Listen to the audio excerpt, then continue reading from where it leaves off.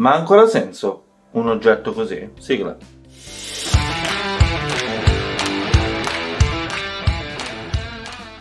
Eccomi qui a parlarvi di uno dei miei ultimi acquisti, un iPod di settima generazione da 32 GB. Come mi sono trovato? A chi potrebbe servire? A chi no? Ha o no senso? Ma soprattutto perché devo pagare tanto la mia assicurazione? No, quella è un'altra cosa. Detto ciò, la risposta a questi dubbi in questo video, tranne quello sull'assicurazione, quello non lo capirò mai. Comunque, eccolo qua, il piccolino. Non so perché, ma me lo aspettavo molto molto più grande. Sarà il design all'iPhone 7 ad avermi fregato, ma questo cosino è davvero piccolo, più piccolo dell'iPhone 12 mini che vi faccio vedere qua accanto. Questa è la differenza di dimensioni tra iPhone 12 mini e iPod di settima generazione e questo è con il Samsung Galaxy S21.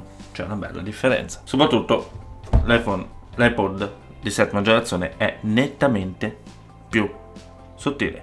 Portabile come pochi ma parliamo prima dell'estetica. Frontalmente troviamo lo schermo e fino a qui grazie al cazzo. Tasto centrale alla iPhone 7 e simili. Non ha il touch ID e qui troviamo la fotocamera frontale. Sui lati abbiamo solo i tasti per il bilanciamento del volume sulla sinistra, niente selettore di notifiche e nient'altro. Sul lato destro non troviamo assolutamente nulla. Superiormente tasto di sblocco e blocco del dispositivo. Inferiormente abbiamo la vera ciccia perché troviamo il ormai sparito jack delle cuffie, l'attacco lighting e l'altoparlante. Infine posteriormente la fotocamera singola flash led e sto coso nero qui che non so minimamente a cosa possa servire.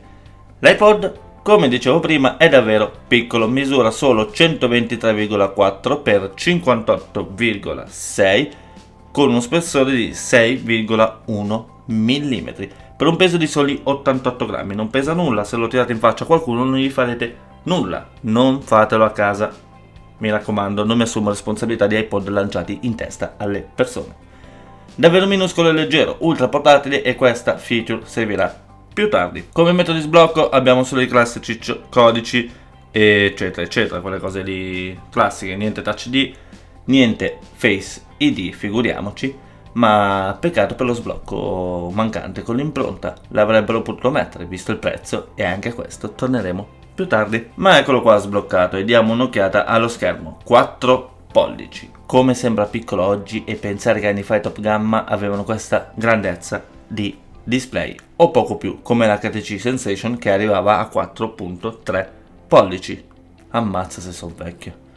Schermo con risoluzione di 1136x640 pixel, 326 ppi, buona la qualità dei video, oltre a YouTube però non credo che qualcuno possa utilizzarlo per altro. Vedere film su questo tipo di dispositivo mi sembra un po'... Mm, eh, bah. Vediamo se riesco ad aumentare la luce. Non sono riuscito ad aumentare un granché la luce, ma speriamo si veda bene comunque mettiamo il nostro test video. In pausa mettiamo la qualità massima disponibile avanzata 1080x60 zoomino no? Ok.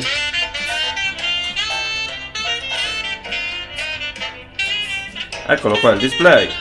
All'opera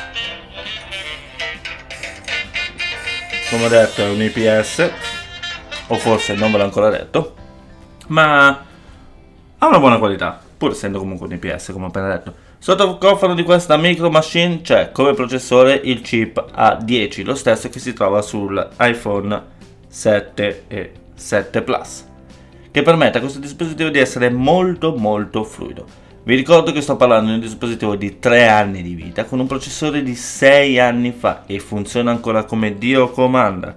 Vi farò vedere che ne so il climb, giochini leggeri perché ovviamente qui girano benissimo le app di tutti i giorni. Vediamo.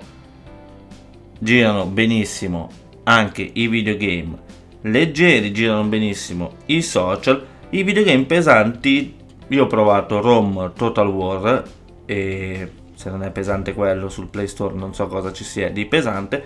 girava bene, un po' scatti ovviamente, ma anche qui grazie al cazzo, cioè ha un uh, processore di 6 anni fa e gira ancora una meraviglia. Altra piccola chicca, ve la faccio vedere subito nelle impostazioni. Andiamo in generali, info, iOS 15.3.1 aggiornatissimo. E con questo detto tutto chiudo e passo la linea a qualcun altro. Ciao arrivederci. Ah eccomi qua. Continuiamo e possono menzionare la fotocamera che non vuole saperne aprirsi. Eccola qua. C'è anche la fotocamera. Frontalmente mettiamo qui abbiamo una risoluzione di 1.2 megapixel come potete vedere qui questa è quella frontale che permette di girare video se non sbaglio solo a 720 quindi inutile in quasi tutti i casi. Buona giusto per fare i selfie a cazzo di cane. Cosa diversa per quella posteriore da ben 12 megapixel che ci permette di fare foto più che dignitose ovviamente qua vi farò vedere le varie foto fatte con questa fotocamera mentre ero in giro. Facciamone una a Gaetanos mettiamolo così. L'ho messa a fuoco spero di sì ok Stavo dicendo, vi farò vedere le foto e i video girati con questi, i video si, si fermano comunque al Full HD a 30. Nulla di così eclatante, ma è un dispositivo non, creato per questo scopo. Non è fatto per fare foto da urlo, anche se grazie alla compattezza a massimi livelli si potrebbe usare per fare foto velocissime in occasioni che vedremo dopo. O street photography senza dar troppo nell'occhio, però la qualità avendo anche solo una lente standard, boh, io la userei pochissimo. La uso pochissimo la fotocamera sull'iPod, avendo altri dispositivi quando ho l'iPod in mano. Ma vabbè, passiamo ad altro. L'iPod Touch non ha spazio per inserire la SIM, cosa inutile. A quel punto uno si comprava un iPhone. Quindi, come connessioni abbiamo il WiFi, il Bluetooth e il GPS. Le prime due le ho testate e sono ottime. Per il GPS non l'ho mai utilizzato inutile direi, su un dispositivo del genere, a meno che non è connesso a una tethering con un altro smartphone, non ha senso GPS. E anche in quel caso, che senso avrebbe collegare l'iPod Touch a uno smartphone per fare la tethering e usare Maps? Uso Maps direttamente sullo smartphone e consuma anche meno batteria. Ma vabbè, GPS per me inutile. Audio, audio, audio, audio. Finalmente parliamo di un iPod Touch e non parliamo di audio siamo arrivati a questo punto, il più importante per un dispositivo del genere. Buono con l'altoparlante, adesso vi farò vedere. Ovviamente posso usare solo YouTube perché le no copyright song di Spotify sono una fregatura assoluta, ma Spotify fa un po' cagare al cazzo. Andiamo qui, mettiamo sempre il nostro bel canale, eccolo qua mettiamo aspettiamo che carichi ovviamente. Mettiamo questa. Adesso partirà una pubblicità. Di 15 secondi mamma mia. No prima o poi lo fare video sulle pubblicità di merda di youtube. Comunque buono con l'altoparlante ma ottimo in cuffia. Grazie al cazzo anche in questo caso. Non ho perso i grazie al cazzo che ho detto in questo video Essendo nato per questo, se non l'avesse fatto bene sarebbe stato completamente inutile. Adesso ve la faccio sentire. Lo avvicino al microfono.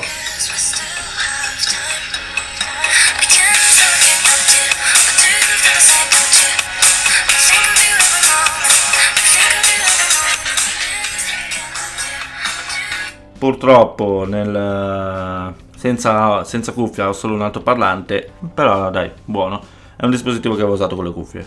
È nato per questo. C'è pure il jack. Cuffie. E si va avanti a Google. Infine menzio una menzione va anche all'auto autonomia. Apple dichiarò 40 ore per la riproduzione esclusivamente di audio e 8 ore per la produzione di video. Mai raggiunte, ma lo promuovo lo stesso. Ottima autonomia. Lo schermo acceso non lo valuto neanche, questo dispositivo è stato concepito soprattutto per la riproduzione audio in cuffia, quindi lo schermo sempre spento e per quello fa un lavoro al top. Io l'ho utilizzato in un viaggio in treno, un viaggio di 5 ore e mezza andata, 5 ore e mezza ritorno, mi è durato tranquillamente. Non mi ricordo che percentuale ero alla fine del viaggio, però mi è, mi è durato, non ho avuto bisogno di caricarlo. I dati sulla batteria non li ho, il numero di mAh, ma con una sottilezza così, essendo una sottiletta, mm, direi 1800-1800 mAh, non di più, ma non lo so, non è un dato sicuro. Comunque siamo arrivati alla fine e che dire, lo consiglio, ma soprattutto a chi lo consiglio. Parto col dire che non lo consiglio assolutamente a prezzo pieno. I tagli disponibili sono 32 GB, già pochissimi nel 2019, figurarsi ora, 128 GB e 256 GB, rispettivamente venduti a 249, 359 e 469 euro. A quei prezzi ora si trovano tantissimi iPhone da lotto, sotto i 200 euro, all'iPhone 11, sotto i 500 euro. Ok, perdete la compattezza e il jack, ma no, a quel prezzo pieno, lasciatelo perdere. Io ho il modello da 32 GB pagato circa 120-110 euro.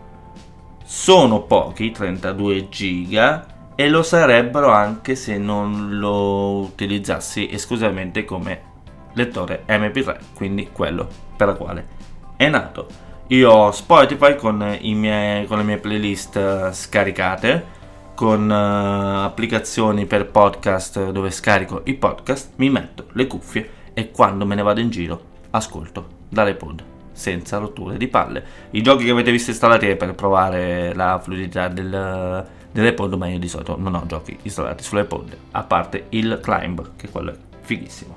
Quindi, se l'ho trovato usato ad un ottimo prezzo, come per esempio il 32 GB sui 100 euro, il 128 sotto i 200 euro e il 256 che... Vabbè, ma vi servono davvero 256 GB di memoria su un MP3? Comunque 256 non ve lo consiglio oltre i 300 euro, prendetelo. A chi lo consiglio però? Ai runner, compattissimo, si prende una fascia da braccio e non lo si sente neanche addosso, così si evita di portare lo smartphone ed essere disturbati o distratti. Stessa cosa vale per chi va in palestra, stessi identici motivi. Ciclisti? Anche se in quel caso consiglio l'utilizzo di una sola cuffia, già vedo troppi animali ciclisti che pensano di comandare in strada, figuriamoci se hanno pure le cuffie e non sentono un cazzo. A chi viaggia spesso come me lo consiglio, in treno è una meraviglia, in aereo, in nave, qualsiasi viaggio voi facciate è perfetto, comodissimo, compattissimo a chi va a scuola o a lavoro, sempre utilizzando mezzi pubblici e non vuole scaricare la batteria dello smartphone, magari uno studente ha uno smartphone scrauso perché gli hanno comprato i genitori il telefono da 50 euro all'Idol, si prende un iPod e con il telefono da 50 euro dell'Idol scrive i messaggi su Whatsapp e fa i balletti su TikTok. Su questo ci ascolta la musica per andare a scuola. O bigiare, è uguale, non bigiate, non fate la casa, non è vero no, fate quel cazzo che volete. Pensandoci, lo consiglio un po' a chiunque non voglia scaricare il proprio smartphone sentendo musica, podcast, eccetera, in continuazione. Quindi, se lo trovate a un buon prezzo, compratelo, ve lo consiglio. È un ottimo dispositivo. Ci vediamo al prossimo video, spero che questo video vi sia piaciuto, iscrivetevi, lasciate mi piace, condividete oppure iscrivetevi, non mi piace e non condividete, non è vero. Potete mettere il non mi piace ma dovete condividere e iscrivervi, schiacciate il tastino di iscrizione che trovate qua qua, o qua, o qua, qua, qua, qua, qua da qualche parte, e qua da qua. Cazzo.